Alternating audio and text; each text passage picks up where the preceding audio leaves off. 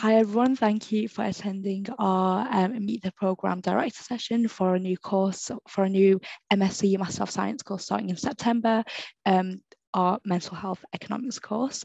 Uh, my name is Tahira, I'm the Recruitment Coordinator at the school and I'm here to facilitate the session and relay any questions that you have to our academic here and our student ambassador.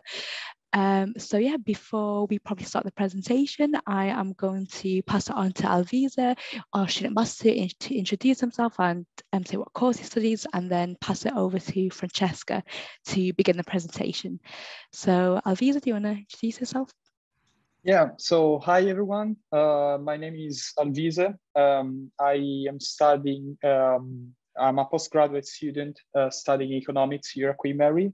Um, I uh, yeah, a little bit about myself. Um, I had uh, my bachelor degree here at Queen Mary, and then I decided to continue uh, my academic career uh, at Queen Mary with a master uh, in economics. Uh, I just finished my final exams, and now I'm working on my dissertation. Um, so yeah, I'm ready to answer any question about life on campus, about my story, uh, why I decided to stay at Queen Mary for my postgraduate degree. And uh, I'm looking for, for uh, any question. So yeah, I will pass now to Francesca for the presentation. Thanks, Alvise, and welcome everybody. I mean, um, it's great to have opportunity to um, get to know some of you, hopefully during the uh, questions at the end, and for me to have a few uh, moments uh, to tell you briefly about uh, how this started and who's in, involved in the design of this uh, new uh, offering. Um, so my name is Francesca Cornaglia. Uh, I'm an associate professor at Queen Mary University of London and together with Mark Freestone um, from the Wolfson Institute, I'm co-directing the new program. Mark is a leader in mental health and he's also the Director of Education and Deputy Director of the Wolfson Institute of Population Health um, he originally trained in sociology, but now works in public and forensic mental health. Uh, what about me? I started my career as an economist working on labor economics, but, but during my postdoc, I worked on health economics already, and my interest have been in health economics since then. Some of my main contributions to the literature on smoking behavior, well-being, and more recently on mental health, especially on the socioeconomic inequalities in health and mental health. Uh, both Mark and I, as from the brief description I've just given you can uh, see, have a very interdisciplinary background. And, and this is clearly reflected in the nature of the master in mental health economics, uh, as, you, as you will see. Um, so why study mental health economics? Well, we know that mental health issues, probably to the people who are attending today, I don't need to make the case for it, are very common, disabling and costly. And to tackle these issues, we need a coordinated action uh, not only across different entities, and by that I mean individuals, families, communities, and organizations, but also across sectors. And by this I mean public and private sectors. Anytime a policy is implemented, uh, there are going to be inevitably some gainers, and these are those who enjoy short or longer term savings or other benefits. And there are going to be losers as well, which are those that have budgets that are being used to pay for treatment or for care. And this may require some sort of cross-agency compensation so that the policy can be successfully implemented. And this is what is referred to as the diagonal accounting challenge. So we need to encourage investment across budgets, but also for the longer term. And this is exactly the kind of situation where governments need to play a strong leadership role in bridging between different areas of policy. Otherwise, it's not going to happen. And also emphasize and possibly financing investments that have payoffs that are going to be mainly way into the future. Again, otherwise, they might not take place. What this means for academia is that we need more interdisciplinary collaborations, projects, research, and we believe interdisciplinary teaching. And this is where this master comes in. So in the last few years, the focus of the economics of mental health delivery has been moving away, shifting from psychopharmacological to psychosocial intervention. And this is because medical and other types of treatment for mental illness can only be partially effective, but it if we don't take into account the social, social aspect of mental health, they won't uh, allow to address in an adequate way the issue. This means that the skills that are required to design, implement, and evaluate appropriate interventions have, over time, broadened in scope and require a deeper understanding of the socioeconomic dimensions of mental health issues in the population. So the, we've seen that the focus of policymakers and clinicians is also shifting. And we're witnessing an increase in the demand for skilled health economists that have a specialization in mental health. And this is what this master is about. Uh, so it was going to equip the students with the skills that are required to successfully meet this new demand. What about this program in particular then? What makes it really unique is the fact that it's interdisciplinary. And let me tell you exactly what I mean by that. First of all, it's a degree that will be delivered by SEF, the School of Economics and Finance, jointly with eh, the Center for Psychiatry at the Wolfson Institute. So the core modules are going to be delivered by these two institutes, as is going to be the dissertation supervision. But then we have a number of elective modules that will be offered by other schools, mainly within Queen Mary, but as I'm going to tell you later, also outside Queen Mary. Uh, an example of an optional module which is offered within Queen Mary is a module offered by the School of Electronic Engineering and Computer Science. This module offering makes it a true Queen Mary program, where students can actually benefit from synergies that can be generated by the collaboration among different schools, each one with its own strengths. As I mentioned, it also benefits from uh, help from outside, um, in fact, the master's benefits from a contribution from uh, the university, Baylor University in Texas, where Professor Scott Cunningham, uh, who wrote one of the most popular books on causal inference, which is, by the way, the subject of last year's Nobel Prize in Economics, will be will deliver a module uh, on mental health policies in the second semester, which is going to be compulsory for all students. So let me give you more detail about what to expect from this master. Among the things that you will learn is to understand what defines mental health economics as an active and distinct subfield of health economics and gain a critical understanding of the core issues in both. You will also learn to apply economic theoretical concepts to the analysis of mental health issues and explore the key policy approaches that are available to tackle mental health problems. Students will also learn to design appropriate interventions that are linked to these policy approaches and how to implement them, overcoming all the challenges that are involved along the way. And finally, students will learn to evaluate and critique these interventions.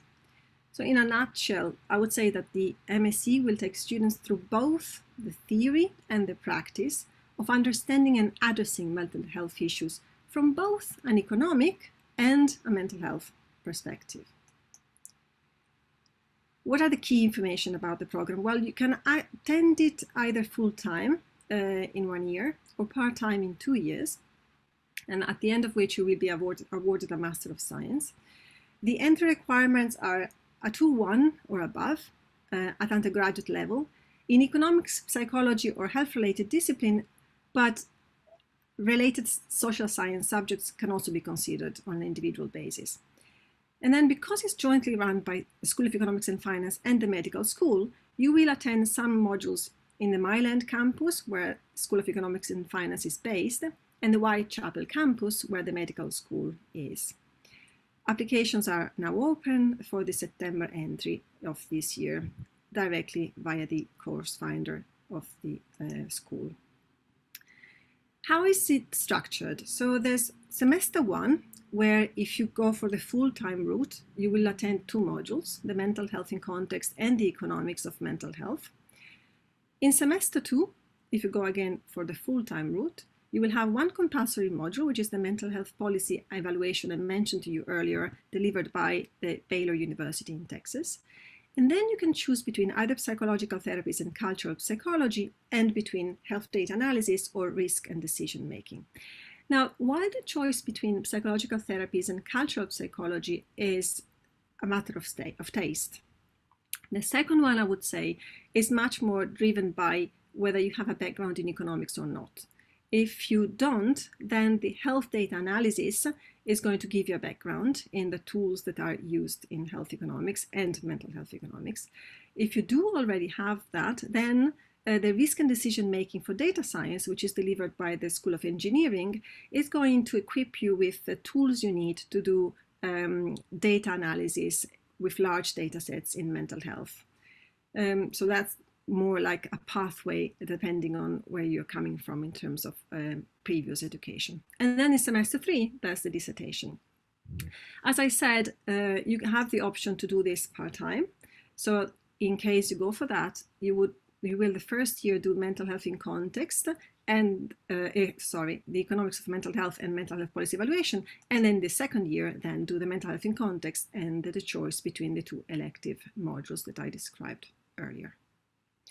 The assessment is going to be a number of different things from essay to uh, test you in the module and a test at the end. And is going to be the same in terms of division between in, during the module and dissertation, which is a, roughly a third, whether you go for the part-time or the full-time uh, route. So graduates from the program uh, will have all of them a, a, strong grasp of the economic drivers of mental health commissioning and policy, as well as the mechanics of delivery of mental health care, including but not limited to, as we said earlier, the psychological therapies and psychopharmacological interventions. Now, those who select the mental health with health economics pathway are likely to be the students we said with some existing experience in the healthcare sector. They will also understand the concepts involved in health economic analysis, including cost benefit and cost consequences analysis in the mental health context. And they will be well equipped to enhance an existing healthcare career or to begin working as a health economist with a specialization in mental health. Students instead who select a quantitative economics pathway will typically be economics graduate with some existing experience of applied economic analysis and they will receive training in advanced methods of understanding risk and causality using Bayesian approaches, for instance, in which Queen Mary is an international center of excellence. This pathway should attract an, and appropriately train students looking to pursue a career in education, data science, or in academia focusing on mental health. Now, this is just, of course, a very broad outline, and each candidate will have their own specific pathways in need.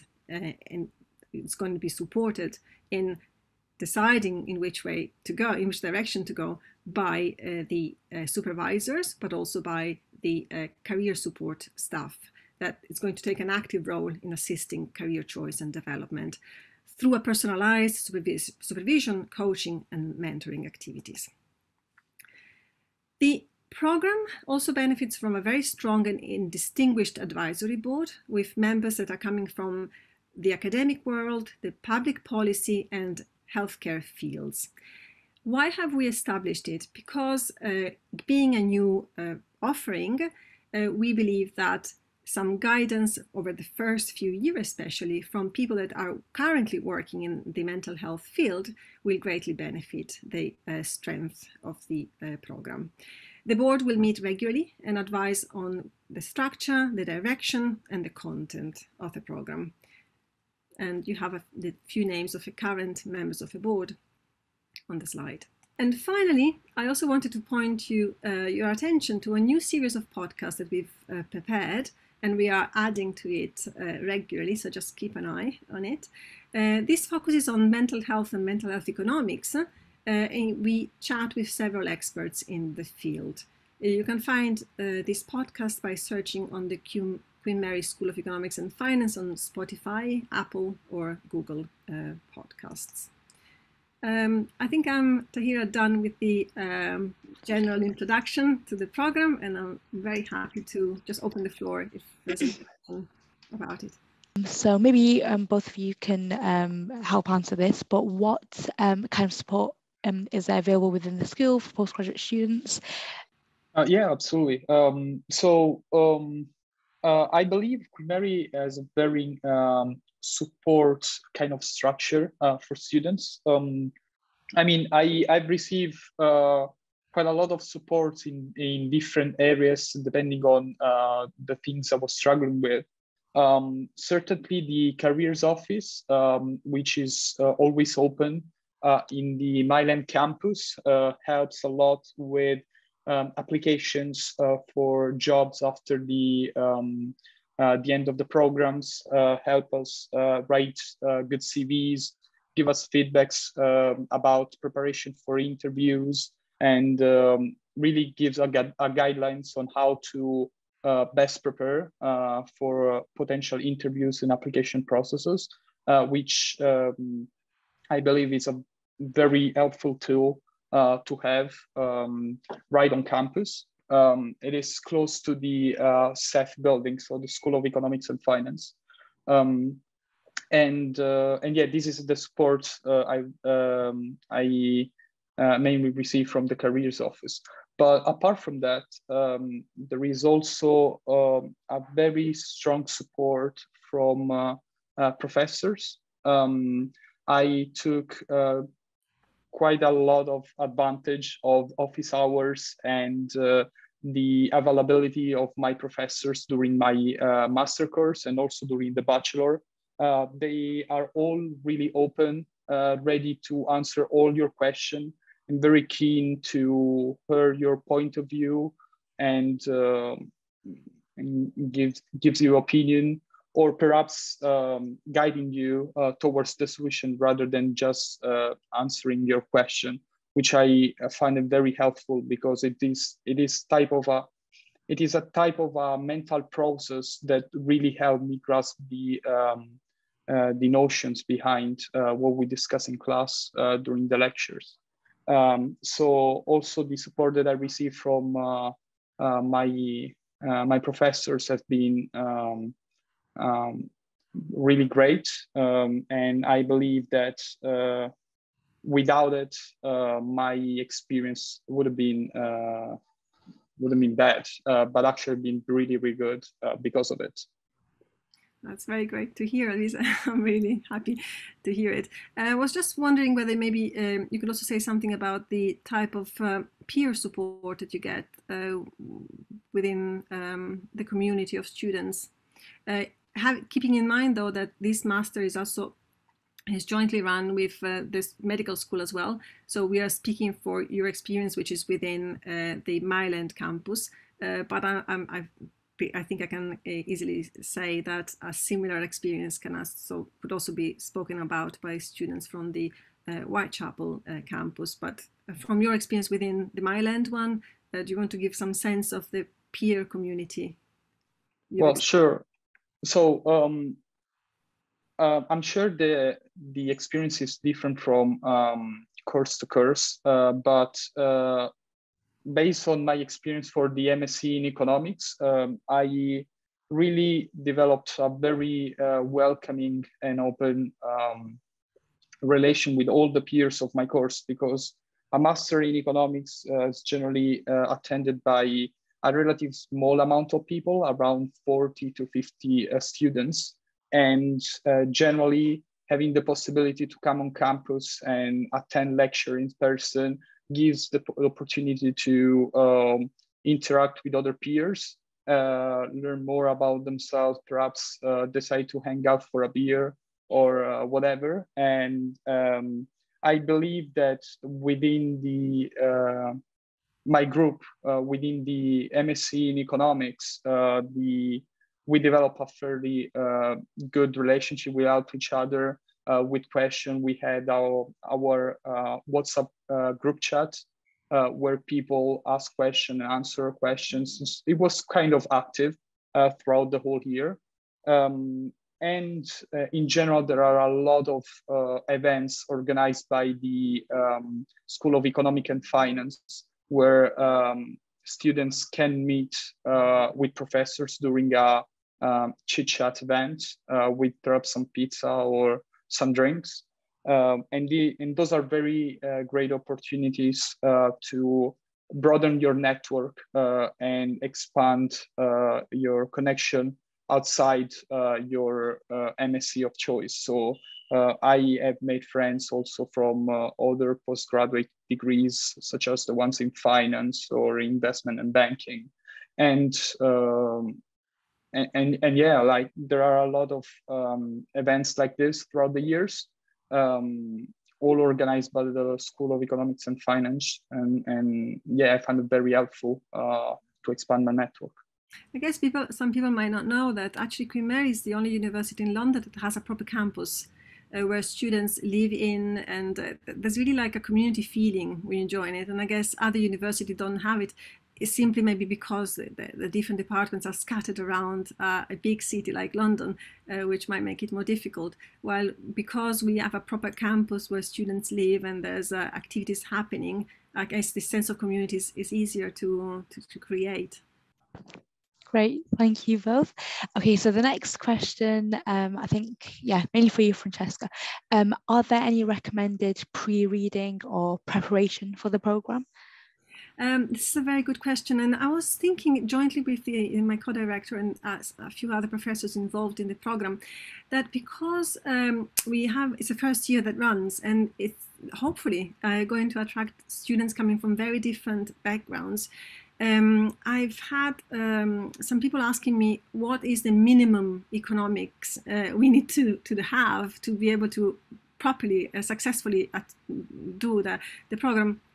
So I, am actually currently preparing a few, a collection of few videos to post on our hub um, with the minimum you need uh, to do well, meaning that if you listen, if you watch those videos, giving you the basics uh, of economics and you're fine with it, or you can just learn it uh, before starting September, um, you, will you'll, you'll be fine. So just watch uh, out uh, for uh, for it. It's going to be an, on the hub um, of the of the program a new um, flag um, with a summary of few videos. It's not going to be many, maybe like two three videos, um, and I urge you to watch them and if after watching them uh, you have any questions, just please get in touch and uh, we can look at them together. And I, I, can I can talk. We can talk about what was difficult and whether it's possible to overcome those um, difficulties um, before September or not. But it's work in progress. So thanks for prompting it. It's something that we are currently working on, and it's going to be on the website soon. Fantastic, thank you. Um, okay, another great question. Um, yeah, mainly for Francesca. Why would you recommend undertaking a more specialist degree in mental health economics over a health economics program? Um, well, I mentioned something about along these lines during the presentation, but it's because mental health is like health economics, but more so, as it was written by Richard Frank in a famous uh, um, chapter of the Health Economics Handbook, meaning that some peculiarities of mental health can be analyzed with the economic tools uh, that have been used in health economics for a long time, but eh, some tweaks need to be uh, made to the theoretical framework even. Because think for instance even just the issue of stigma or uh, how much bigger it is in mental health than in health or think about the issue of information. So if you break a leg, you go to hospital, um, the information um, is going to be more um, clear to the doctor about your situation after after doing an X-ray, for instance. Is the bone broken? How is it? Is it split? Need, what, what, needs to be done? So there's still an element of um, asymmetric information, but in mental health, uh, it's way bigger. And maybe therefore the tools, even the theoretical tools we need to think about how to go about uh, making people better, uh, need a specialist um, eye. And it's not enough to just um, go with the two microeconomic tools, for instance, that have been used in, in health economics. So I just gave you two, two small examples, but there's plenty of them um, that justify a tweaking uh, of the um, health economics approach to be able to really advise policy um, for mental health. Great, thank you. Um, okay, a question for Alvise. Um, what made you choose um, Queen Mary over other universities for your postgraduate studies? Why did you continue to stay with us? Uh, so yeah, um, my, a little bit of my uh, about myself. I had uh, my bachelor degree uh, here at Queen Mary, studying economics and politics. And uh, during my bachelor degree, Uh, one of my uh, supervisor was Gino Gancia, who is a professor and actually the director of the MSc in economics here at Queen Mary. Um, my story um, started like my decision to continue with a postgraduate degree um, started in my final year of the bachelor uh, when I studied several modules, especially um, economics of emerging markets uh, during my yeah my final year, uh, where I really enjoyed uh, studying about how macroeconomic effects um, um, created crisis in in emerging markets, uh, which uh, later affected um, the whole world through contagion and other economic phenomena. Uh, and because of that, I really get interested in uh, learning more about the uh, macro um, uh, effects um, and how economics can uh, really affect people from a different uh, background and from different countries very, very quickly. And by discussing this with my supervisor, he suggested me to perhaps consider the MSc in economics at Queen Mary um, we discussed it for a while. Uh, I made my research to uh, see, for example, the backgrounds of the professors uh, who, who teach uh, the MSc in economics. And I found it very, very interesting uh, because there are people uh, that comes from a really good university, having PhD from Columbia or the Pennsylvania um, University, um, and which had uh, who were also like research assistant at the MIT or other at Oxford, for instance.